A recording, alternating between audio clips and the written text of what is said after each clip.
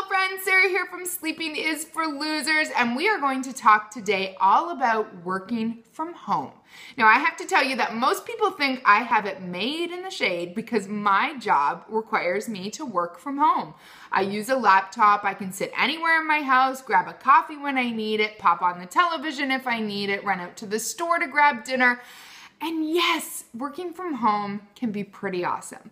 But you really have to be a certain type of person to make the work from home life work. So let's dig into what you really need to take into consideration if you want to work from home.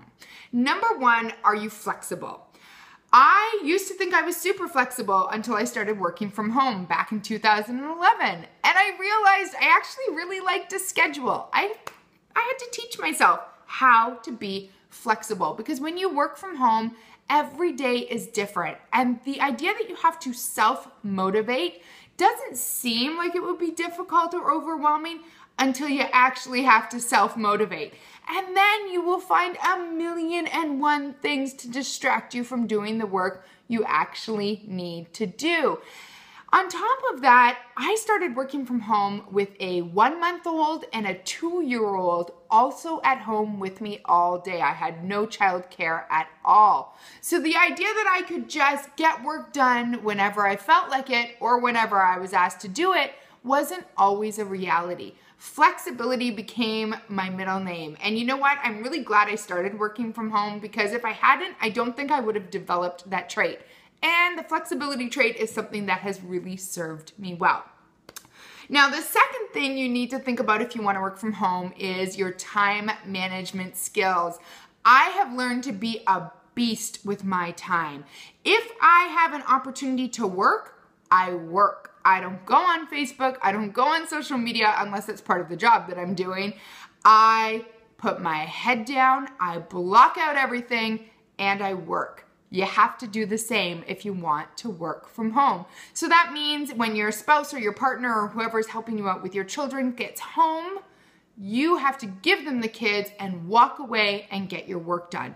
It might mean that you are up at 11, 12, 1 o'clock in the morning, finishing up a project because you just didn't have time during the day because you had a crying baby and you were changing diapers and this happened and that happened, and you just have to deal with it. You have to be a beast with your time and knock out that work, really good quality work, mind you, when you have the opportunity. You can't wait for inspiration or creativity to strike. You just have to go. Thirdly, do you need other people? This is something that you might not know the answer to until you work from home. And the fact of the matter is, working from home is incredibly lonely. You are alone all the time. There's no one to just stop by and have a quick chat. You're not, you know, seeing someone in the hallway. There's no one to just bounce an idea off of.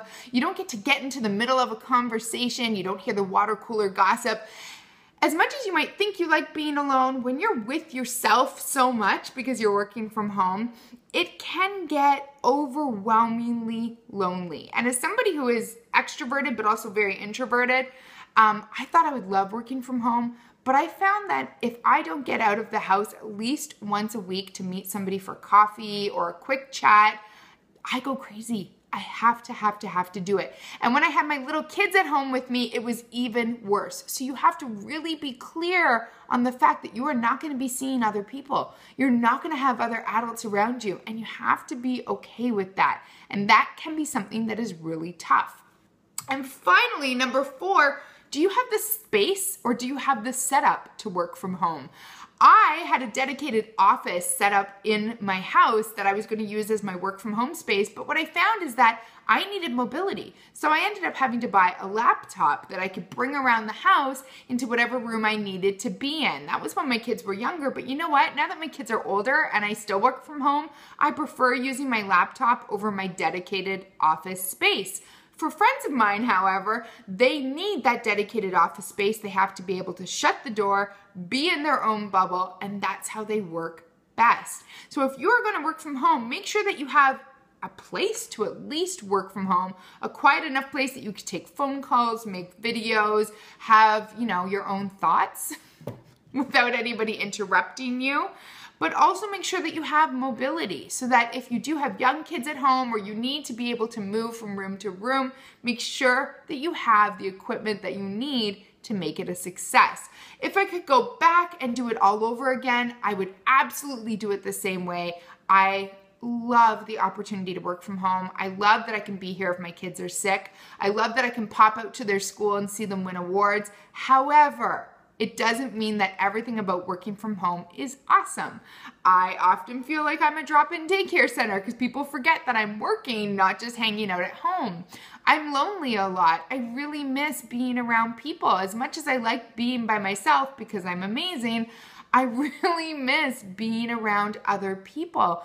And I really miss having hard and fast deadlines that I can meet with ease. A lot of the housework, a lot of the chores, a lot of just the everyday stuff falls to me because I am at home. And that often means that my deadlines feel frustrating.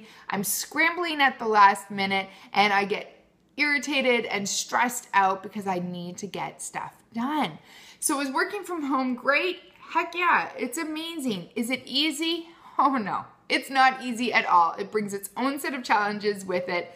But if you are thinking of working from home, I highly suggest you try it out. It changed my life. It changed the way I interact with my family and I think it could probably do the exact same for you.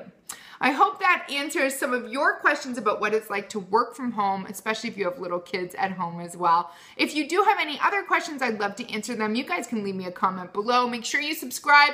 Make sure you link up. Just say hi. I want to know that you're here. Till next time.